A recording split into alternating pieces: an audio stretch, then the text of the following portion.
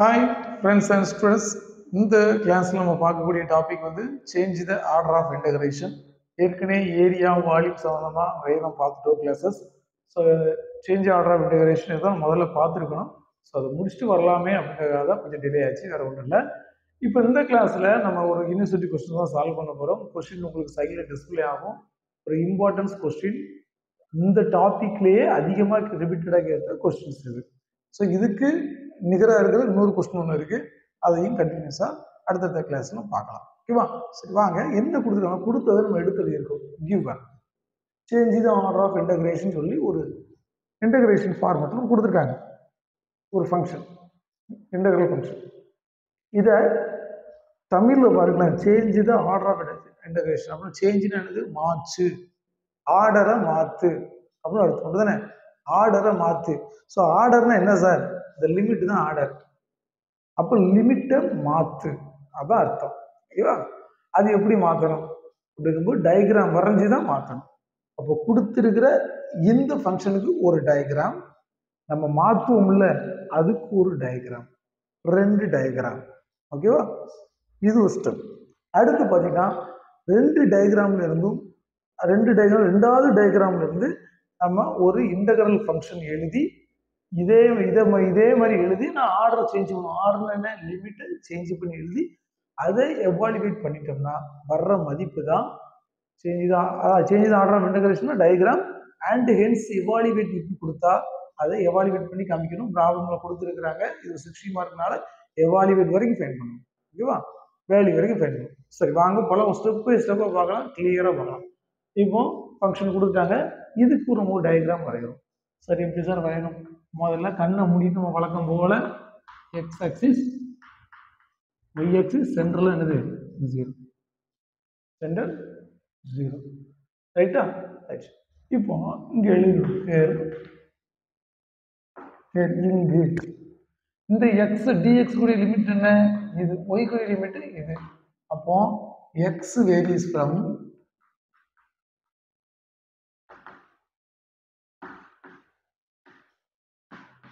x equal to zero அதுதானே உடனே எக்ஸுக்கு டிஎக்ஸ்னா இதை குறிக்கும். அப்போ இங்கே எக்ஸ் ஈக்குவல் டு இங்கே எக்ஸ் ஈக்குவல் டு போடலாம். தப்பு இல்லை. இங்கேயும் ஒய் ஈக்குவல் டு இங்கேயும் ஒய் ஈக்குவல் டு போடலாம். தப்பே இல்லை. ஓகேவா? ரைட் அப்போ x equal to zero to x equal to one அவங்க கொடுத்தது கொடுத்ததுல தான் எடுத்து ஓகேவா? புதுசாக இது செய்யணும் அப்போ டிஒய் டிஒய் பார்த்தீங்கன்னா y varies problem y equal to x square y equal to x square எழுதும் போதே மனசில் தோணிடணும் இது ஒரு பரவளையம். இங்கிலீஷில் சொல்ல போனால் parabola okay y equal to x square to y equal to two minus x இதை எழுதும் போதே உன் மனசு சொல்லணும். இது ஒரு ஸ்ட்ரெயிட் லைன் புரியுதா? இது ஒரு ஸ்ட்ரெயிட் ஸ்ட்ரெயிட் லைன் எப்படி? ஒய் ஈக்குவல் டூன்னு வரதுனால ஒய் டூங்க ஒய் ஒய் ஆக்சிஸில் டூங்கிற பாயிண்ட் வழி பாஸ் ஆகக்கூடிய ஒரு ஸ்டேட் லைன் இப்படி எழுதும்போதே அப்படியே இமேஜ் பண்ணிக்கிடுங்க. அது எப்படி இருக்கும்னு. ஸோ அது ஏற்ற மாதிரி இங்கே வரையப்படும் பார்த்தீங்களா எக்ஸுக்கு இது எக்ஸ் ஆக்சிஸில் ஒய் வேல்யூஸ் எல்லாமே எப்படி இருக்கும். ஜீரோவாக இருக்கும். ஒய் ஆக்சிஸில் எக்ஸ் எல்லாமே ஜீரோவாக இருப்பாங்க. ஓகேவா? நமக்கு இது வேற படம் தெரியனால y equal to x square வேற படம் எப்படி இருக்கும்? தான் இப்படி இருக்கும். ஓகேவா? ரைட் சரி. Y equal two minus x two minus எக்ஸ்னா Y equal to டூங்க பாயிண்டில் ஒய் ஆக்சிஸில் ப்ளஸ் டூங்க பாயிண்ட் ஆல்ரெடி பாஸ் ஆகக்கூடிய ஒரு லைன் அப்போ ப்ளஸ் டூ இங்கே இருக்குன்னு வச்சுக்கோங்க ஏதாவது டூ இருக்குன்னு வச்சுக்கலாம் அப்போ ஒய் ஈக்குவல் ஒன்று அர்த்தங்களா அப்போ இதுக்கு வேல்யூ ஒய் ஈக்குவல் டு ஒன்று இதுக்கு value y equal to two அப்படி எடுத்துக்கிட்டா என்ன இருக்கலாம் இந்த பாயிண்ட் வழியோடி அப்படியே பாஸ் ஆகக்கூடிய ஒரு லைன் அப்போ இங்கே என்னவா இருக்கும் இது எக்ஸ் ஈக்குவல் டு டூவாக இருக்கும். சரி மார்க் பண்ண வேண்டாம். பண்ண அவ்வளோதான் பண்ணட்டும். ரைட் அப்போ எக்ஸ் ஈக்குவல் டு ஒன்று எங்கேவா இருக்கும் இங்கே இருக்கும். அப்படிதானே அப்போ இங்கே ஒரு லைனாக போட்டிங்கன்னா இவாளுக்கு நேம் வந்து எக்ஸ் ஈக்குவல் டு ஒன்னு அர்த்தம். புரியுதோ? இப்படி பண்ணிருக்கோம்னே? அப்போ இந்த ஸ்ட்ரெயிட் லைனுக்கு வேல்யூ என்ன? Y equal to two minus x இந்த பேராபோலாக்கு ஒரு name y called x square எல்லாத்துக்கும் நேம் கொடுத்துருவோமா? ஆயிடுச்சு ஆமாம் புரியுதா? ரைட் இப்போ என்ன செய்ய போகிறோம்னா நல்லா கவனிக்க இது எல்லாமே எனக்கு ஒய் ஈக்குவல் டு ஒன்று ஒய் ஈக்குவல் டூ எல்லாம் கொடுத்துட்டோம். ரைட் ரைட் சாரி ஸோ பார்த்தீங்கன்னா இது எல்லாத்தையும் நம்ம அப்ளை பண்ணிட்டோம். இப்போ என்ன செய்யணும் அப்படின்னா என்ன இருக்கலாம். இப்போ ஃபர்ஸ்ட் என்ன கொடுத்துருக்காங்க? டி ஒய் கொடுத்துருக்காங்க ஓகேவா அப்போ ஒய் ஆக்சிஸுக்கு இணையா? ஒரு பாத் அதே போல இங்கேயும் ஒரு பாத் ரெண்டு பகுதியை பிரியுதுல்ல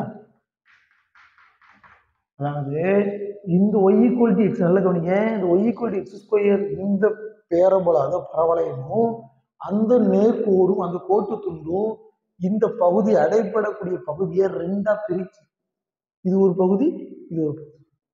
அப்படி ரெண்டா பிரிக்கும் போது ஃபர்ஸ்ட் பகுதியில ஒரு பாத்து வரைதோ அதுக்கு பேர் ஐ ஒன்னு செகண்ட் பகுதியில இன்னொரு பாத்து வரைதோம் அதுக்கு பேர் ஐ டூ நம்ம கொடுக்குறோம் ஒரு நேம் ஓகேவா ஐ ஒன் ஐ டூ ரைட்டா அப்போ இந்த பாத்துக்கு ஒரு நேம் கொடுக்கணும்ல? பாத்துக்கு ஒரு நேம் கொடுக்கணும். அப்போ இவாளுக்கு பி கியூவு இவாளுக்கு ஆர்எஸும் கொடுத்துருங்க. புரியுதா? எல்லாத்துக்கும் நேம் கொடுத்தா சும்மா வரைஞ்சிட்டு அப்படியே பேர் வைக்காம பேர் கூடாது பேர் வைக்கணும். ஓகேவா? அப்பதான் சொல்லி கூப்பிட முடியும். ரைட் இப்போ அடுத்து கீழே. இதே டயக்ராமை அப்படியே காப்பி பண்ணுங்க. அப்படியா?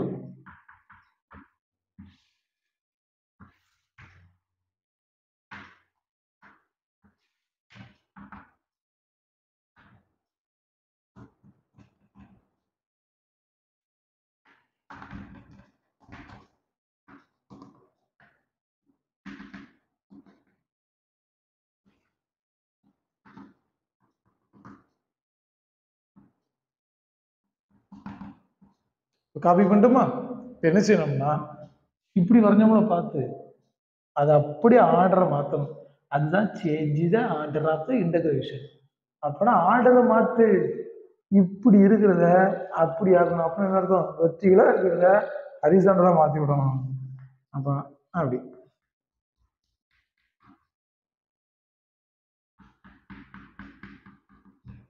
ஓகேவா அப்போ இதுக்கு பேர் ஐ ஒன்று இதுக்கு பேர் ஐ டூவு அப்போ பிக்யூ இப்படி ஆயிரும். இது ஆர்எஸ் ரைட்டா இது ஐ ஒன் இது ஐ டூ இப்போ புரியுதா?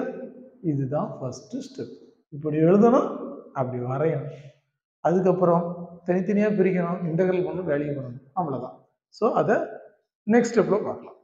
ஸோ பார்த்தீங்கன்னா இந்த ரெண்டு டயக்ராம் இந்த ரெண்டு டயக்ராமை வச்சு தான் நம்ம அடுத்தடுத்த ஸ்டெப்ஸ் வந்து செய்யலாம் செய்யப்படும் ஃபஸ்ட்டு இந்த டயக்ராம் இந்த டயக்ராமுக்கு நேராக இந்த லிமிட்டை யூஸ் பண்ணி ஒரு இன்டகிரல் ஃபார்மெட்டில் ஒரு இன்டகிரல் ஃபார்மெட் எழுத போகிறோம் இந்த டயக்ராமுக்கு நேராக இதை யூஸ் பண்ணி ஸ்டெப் பை ஸ்டெப்பாக சொல்லி தர முடிக்கலாம் ஓகேவா அதில் நேம்ஸ்லாம் பா பார்த்து குறிச்சிருங்க. ஓகேவா அதை பார்த்துக்கு நம்மளாக தான் நேம் கொடுக்கும் பிக்யூஆர்எஸ்னு ஓகேவா நீங்கள் எம்என் கொடுக்கலாம். ஏபி ஏசிடி எதுனாலும் கொடுத்துருங்க. இது வந்து நேம் வந்து ஜஸ்ட் நம்ம கொடுக்குற நேம் நம்மளாக கொடுக்குற ஒரு பிக்யூ அது ஒரு ஆர்எஸ்ன்னு கொடுக்குறோம். இல்லை டோட்டலாக இதில் பூரா பிகே பிகேன்னு கொடுத்துட்டு இதில் ஆர்எஸ் ஆர்எஸ்ன்னு கொடுத்துக்கலாம். அது உங்களுடைய விருப்பம். இந்த நேமுக்கு நம்ம கொடுக்குற பேர் தான். அதனால் அதில் எந்த சேஞ்சும் இல்லை. நம்ம செய்யக்கூடியது லிமிட்டை மட்டும் கரெக்டாக எழுதும் லிமிட்டை மட்டும் கொஞ்சம் கவனமாக எழுதுங்க. இப்போ பார்த்தீங்கன்னா இந்த டயக்ராமுக்கு நேராக எப்படி எழுதுகிறோம்னா ஐ ஈக்குவல் டு நமக்கு என்ன தெரியும்? I equal to I one plus I two ஓகேவா I equal to I one உங்களுக்கு இன்டகரல் வேல்யூ வேணும்னா ரெண்டையும் ஆட் பண்ணால் தானே இந்த ஃபுல் முழு பகுதி நமக்கு கிடைக்கும். I equal to I one plus I I equal to I one plus I two இப்போ இந்த டயக்ராம் ஓகேவா? இதுக்கான ஒரு நேம் கொடுத்துக்கிறோம் ஒன்று ஃபிகர் ஒன்று இது ஃபிகர் டூ ஓகேவா? First figure one from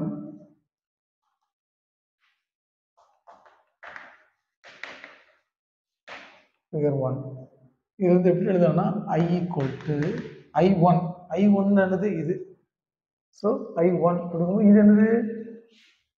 D அதாவது ஒய் ஆக்சிஸுக்கு இணையான பார்த்து. அப்படிதானே? ஒய் ஆக்சிஸுக்கு பேரலாக இருக்கு. பேரலாக இருக்கா? அப்போ டபுள் இன்டகரல் போட்டு எக்ஸ் ஒய் போட்டு டிஒய் டிஎக்ஸ் போடணும். ஃபஸ்ட்டு என்ன போட்டுருவோம் டிஒய்யை போட்டுருணும் ஏன்னா ஒய் ஆக்சிஸுக்கு இணையான பேரல் பாத் ஓகேவா ப்ளஸ் ஐ டூக்கும் அப்படி எழுதிடும் into x y into dy d x ஓகேவா ரைட் இப்போ லிமிட் எடுத்தது தான் கவனமாக எடுத்துக்கணும். எப்படி எடுத்துடணும் இந்த டிஒய் இருக்குல்ல இந்த டிஒய் இந்த லிமிட்டை பிடிக்கும் அப்போ ஒய்ங்கும் போது நல்ல கவனிங்க ஒய்ங்கும் போது இந்த இடத்துல என்ன இருக்கு? இதுக்கு நேம் வந்து y equal to x square தானே? இதுக்கு நேம் வந்து y equal to x square இந்த பேரபோலாக்கு நேம் இதுலேருந்து இதுக்குள்ளே அடைபடுது. அப்படிதானே இதுலேருந்து இருந்து இந்த இதுலேருந்து இதுக்குள்ளே இதுல அடைபடுது. அப்போ ஒய் ஈக்குவல் டு எக்ஸ் ஸ்கொயர்ல இருந்து இந்த லைனுக்கு பேர் என்ன? ஒய் ஈக்குவல் டு ஒன்று அப்போ எக்ஸ் ஸ்கொயர்ல இருந்து ஒன்று அப்படிங்கிறது அடைபடுது அடுத்து டிஎக்ஸ் டிஎக்ஸோட லிமிட் இது. அப்படிதானே? டிஎக்ஸோட லிமிட் வந்து இது. அப்போ எக்ஸ் ஆக்சிஸை பார்த்தோன்னா இந்த லைன் இதுக்கும் இதுக்கும் நடுவில்.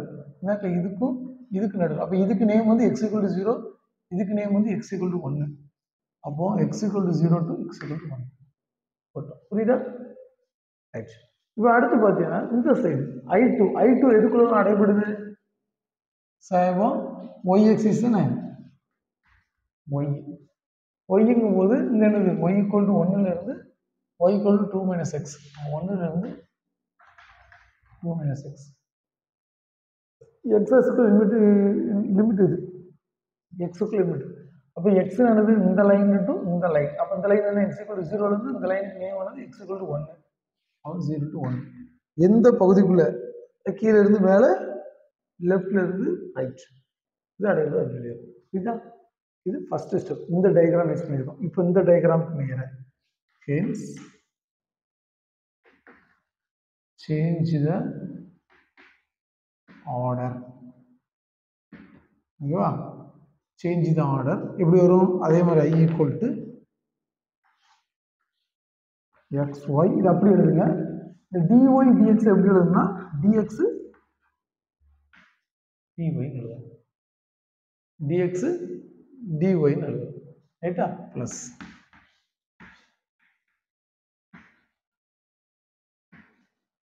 ஏன் டிஎக்ஸ் டிஎக்ஸ் முதல்ல எழுதுறோம்? இங்க வரும்போது இந்த வெர்டிக்கலா இருந்த ஒய் எக்ஸஸ் இணையா இருந்த பார்த்து இப்போ எக்ஸஸ் ஆக்சிஸ் ஆயிட்டு அப்போ டிஎக்ஸ் தான் முதல்ல போடணும். ரைட்டா? இப்போ பாரு எக்ஸஸ் இது குறிக்கும் அப்படிதானே இப்போ பார்த்தீங்கன்னா எக்ஸோடைய லிமிட் என்ன? இந்த ஐ ஐ ஒன்னை பொறுத்த மட்டும் இதுனா ஐ ஒன் இப்போ இதோடைய லிமிட் என்ன அப்படின்னா நான் அதான் கலர் பண்ணியிருக்கேன். இதுக்குரிய லிமிட் என்ன அப்படின்னா நல்லா கவனிக்கணும்.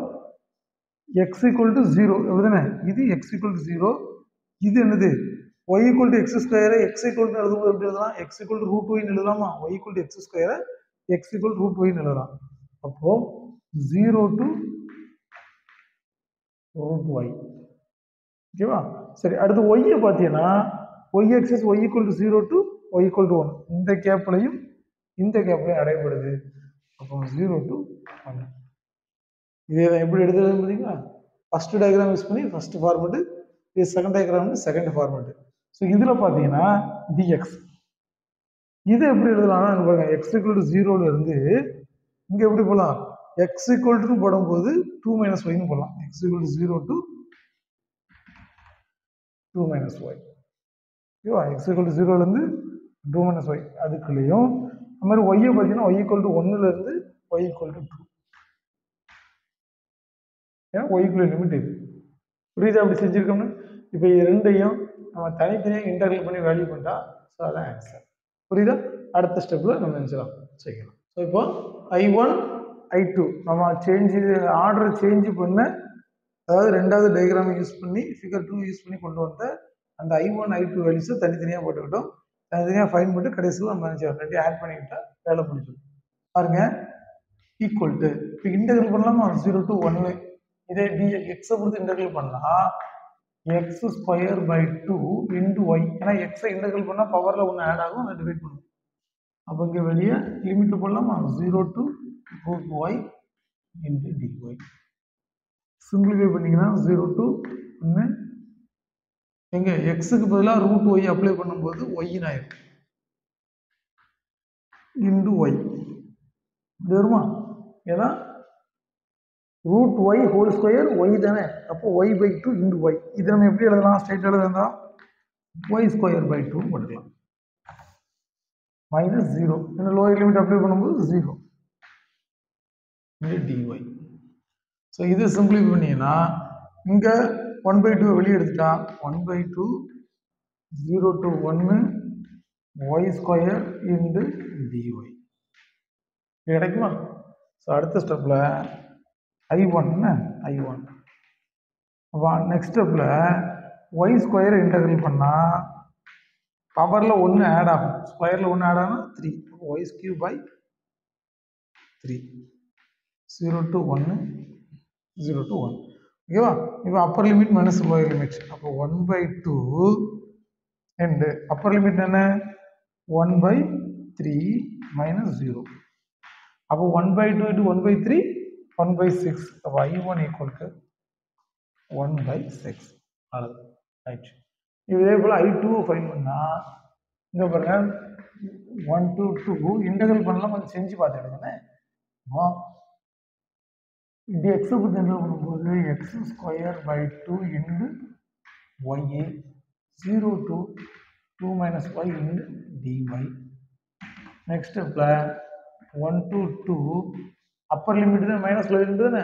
எக்ஸுக்கு பதிலாக நீ அப்ளை பண்ணீங்கன்னா two minus y whole square by two into y lower limit என்ன வரும்? ஜீரோ வருமா? ஏன்னா ஜீரோ